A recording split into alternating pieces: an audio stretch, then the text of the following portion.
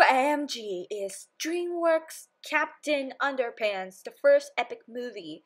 Do you want to go to the movies, Brianna?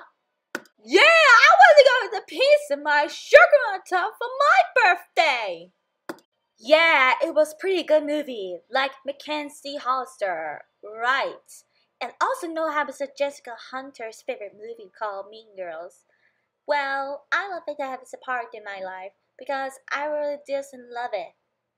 Oh, Jessica! You look Captain Underpants, the first epic movie. It was published on FX and FXX channel. It's coming up in 2019.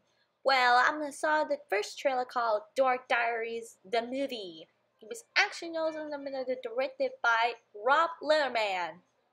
Oh, Nikki, do you want to see Dork Diaries, the movie coming up in theater soon? Oh, Brandon, that was so nice. Let's go to Captain Underpants. The first epic movie begins now. I'm glad to hear Nikki and her friends.